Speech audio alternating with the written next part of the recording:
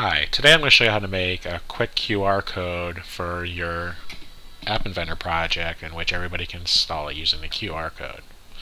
So the first thing we need to do is we need to go to projects and we need to export the AIA file. It only takes a second to do. Then we need to export our APK file and we're going to save it to the computer. We do that. Takes a little bit of time. Got a lot of stuff open on my computer, plus running the video. It's taking a little bit extra time. So I have my site here, and this is where I'm going to install my, put my, insert my QR code. But I'm going to the AIA file and the APK file that I downloaded. I'm going to add them to my site. This must be done. Um, I have my students add the AIA file so I can download it later and um, look at the code inside and also to make sure they named all their components. Plus the APK is how we create the QR code. So let's go back. Yep, that was generated and downloaded.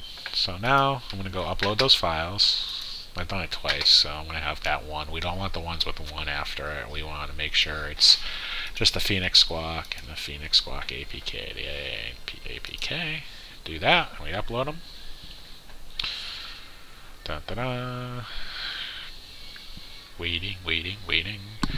So we upload those. And in the meantime, while waiting for those to upload, I'm gonna go. I always forget um, the site, so I'm gonna type in free QR code.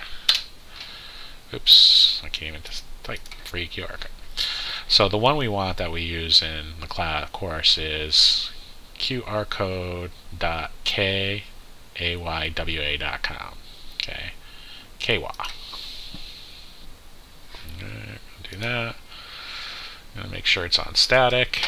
Alright, make sure we have everything done there. Is it uploaded? Alright, so they're both uploaded. Then you're going to go to the APK file and you're going to right click on the down arrow and copy link address once they're uploaded.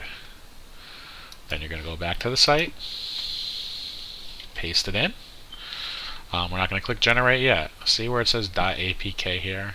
That's where we want to stop. Everything after the APK, which usually starts with a question mark, we just delete.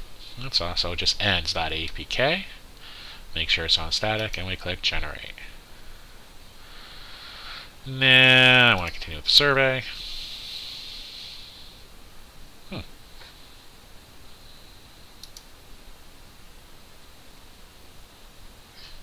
didn't generate. Interesting. Oh, there it goes. It came up. It just took a second. Just be patient. So, there we go. I'm going to save image as pictures layer. I'm call it WK squawk. Replace that because I did it before.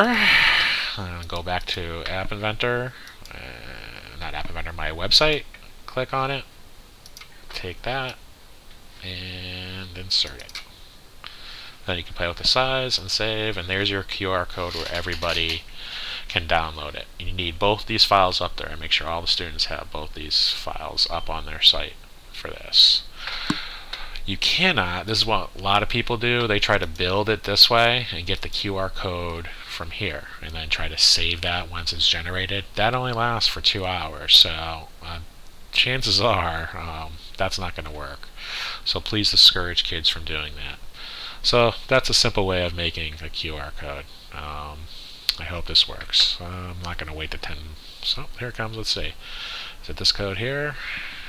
Da, da, da. Yeah, this one here.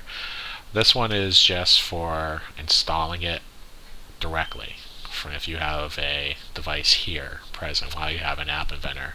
To put it up on the site will not work. Okay, so you need to do the first steps I told you in order to put your QR code up on the site correctly. I hope this helps.